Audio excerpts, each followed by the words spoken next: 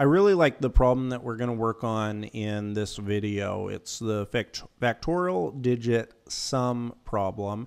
And the reason why I like it is because I think it's a perfect one to practice a lot of the things that we've learned in the course. So uh, after we read this, definitely try to pause the video and try to build it yourself before we go through the solution because I think that you'll see that pretty much everything that uh, we've gone through in the course, uh, there's nothing new in it. So you have all the knowledge you need in order to build this. Don't worry if you can't do it, because uh, it's still very challenging. But uh, I definitely recommend it because it'll help you uh, learn it even better. Even if you fail doing it, you'll remember the solution better. So, what is a factorial? Uh, factorial is, uh, they give you the algebraic answer up here. Here's the example. Uh, factorial of 10 is 10 times 9 times 8 times 7, all the way down. Factorial of 10 is massive just by itself. It's 3,628,800. So, you, as you can see, factorials grow very, very quickly. And the sum of the digits in uh, 10 factorial is 27. And so the way that you can count that is it's just literally the sum of the digits 3, 6, 2, 8, 8, 0, and 0. So that equals 27.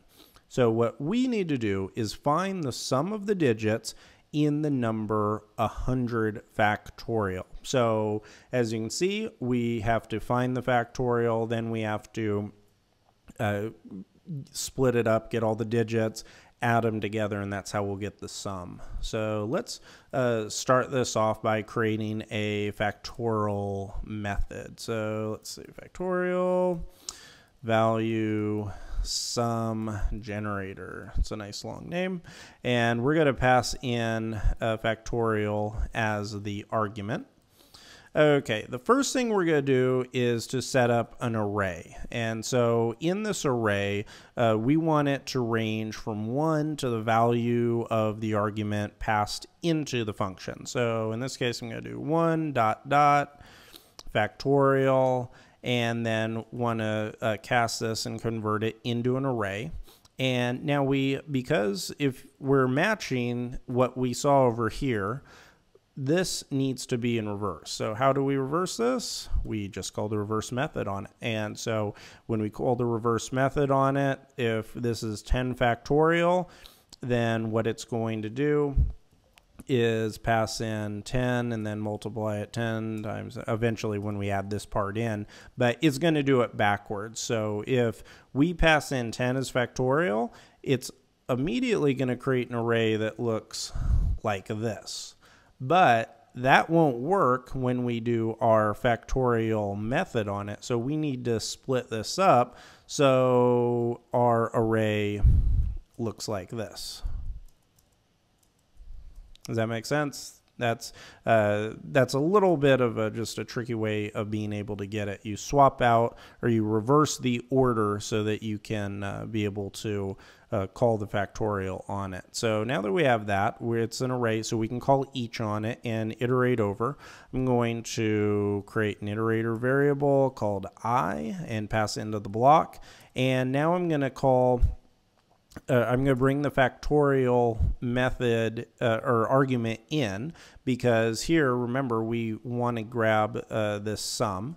So I'm going to increment it by this value. And so this value is going to be factorial times i minus 1. Okay. Now, don't worry if you didn't get that. Uh, let's just hold on one second and go through it again. So uh, let's pick up where we left off right here. So I got 1 through 10. We reversed it, so it's going to be, assuming factorial, the argument is 10. Uh, we reversed it, so it's going to be 10 through 1. And now we're iterating over that new array. So let's just, for visual sake, say that we have array, dot, dot, dot, all the way to 1. Okay, so we're iterating over it. And so what we're doing is we're taking the value of factorial right here, And so we're going to say this is what starts off with. So in this case, it'd be 10. And then we're going to add the product of factorial, which is also 10, times i minus 1. So in this case, i is going to be 10 minus 1, which is going to be 9. So this is going to be 10, or that's going to be the sum of 10 plus 10 times 9, 90. And so it's going to iterate through that all the way through. So hopefully that makes sense. I think it's a, a, a, good way of writing the factorial method. So now that we have that, that's just a factorial. Now we actually have to uh, create the, uh, the sum of the digits. So I'm going to say factorial to string and then split this. And so what this is going to do is simply split it up so that each one of the digits is separated. And now I'm going to call the map method. So on the map method, we're going to pass it in a uh, block and call the to integer method on it. And then we're simply going to call inject so that we can add all of this up. And that is it. So let's now call our method, pass in 100 because that's what we need for this one. And let's see if this works. Ruby, Project Euler, this is problem 20. And 648 is the solution. So great job. This is a uh, uh, this is one that I thought was perfect for this course because it makes you use a lot of the things we've learned, like being able to work with blocks, being able to uh, call methods on arrays, chain methods together, uh, use methods like inject and map in conjunction with each other to be able to build a pretty uh, pretty sim- elegant and simplified solution to a complex problem. So nice work.